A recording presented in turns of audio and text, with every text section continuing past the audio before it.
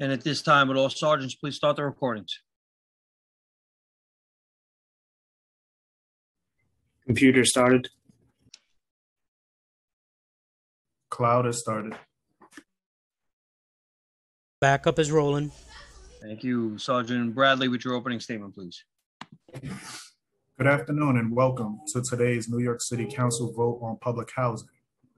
At this time, will all members turn on your videos for verification purpose?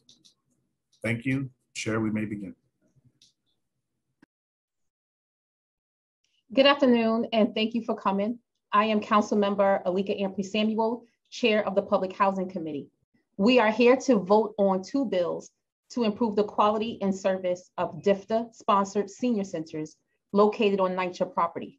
Proposed intro number 415A, sponsored by Council Member Chin, and proposed intro number 1827A, sponsored by me.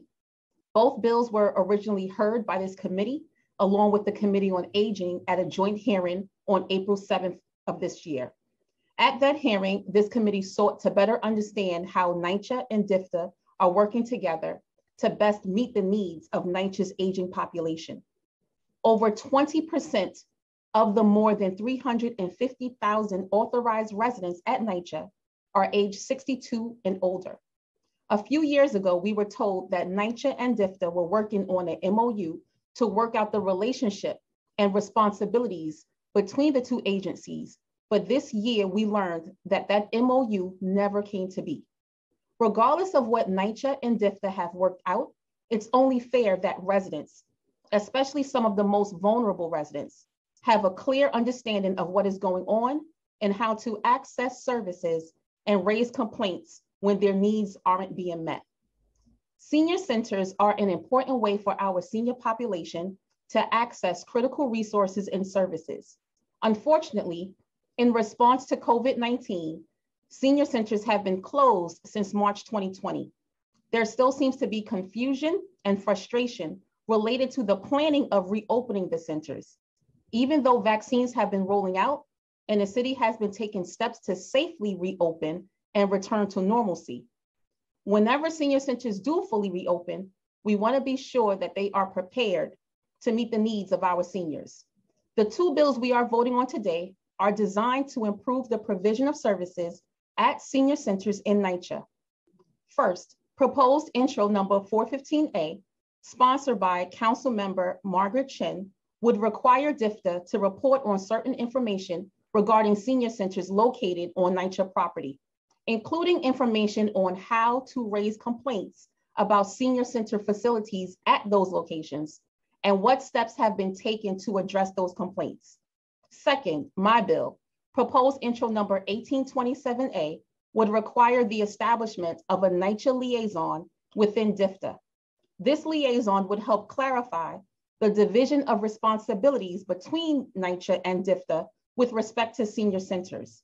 As I said at the hearing last month, these bills would establish important common sense steps to improve the coordination of services to NYCHA's most vulnerable seniors.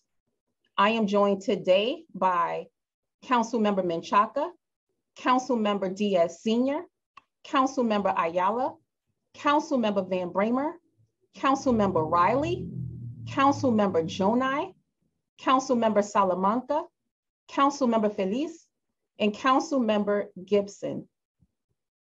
And I am not sure if the chair of the aging committee, Council Member Chin, is on or if she's coming on to speak on her bill. Uh, I, I don't believe she'll be joining us. Okay. With that, we will now ask the clerk to call the roll.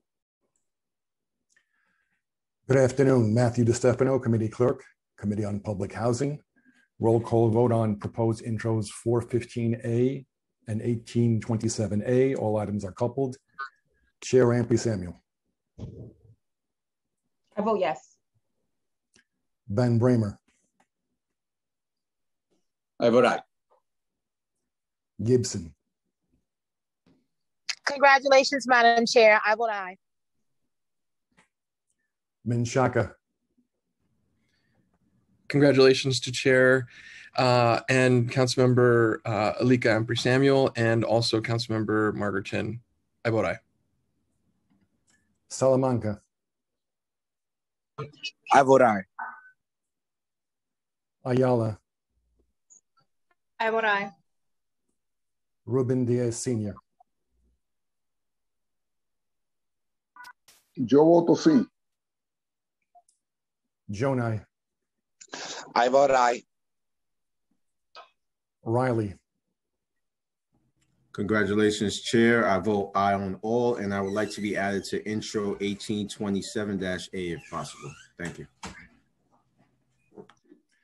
Feliz, Uh, congratulations, yo voto sí. Thank you for uh, the good work on this issue. By a vote of 10 in the affirmative, zero in the negative, and no abstentions, the items have been adopted. Thank you, everyone.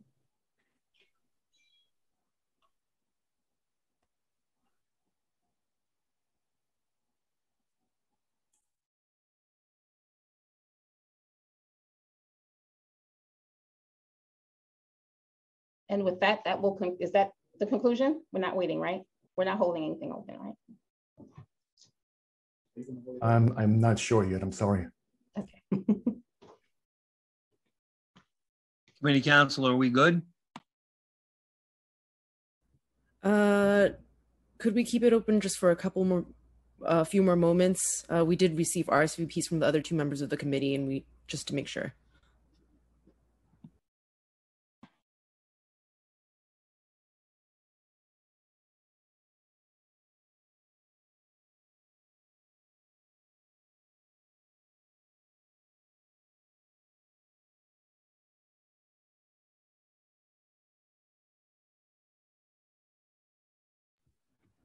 All right, Chair Ampry Samuel, I believe we're ready to close.